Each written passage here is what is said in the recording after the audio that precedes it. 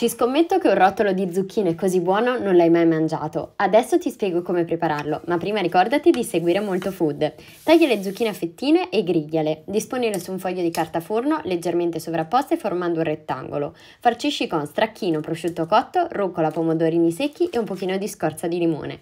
Arrotola aiutandoti con la carta forno e metti a riposare in frigo fino al momento del servizio. E voilà, il nostro rotolo di zucchine è prontissimo!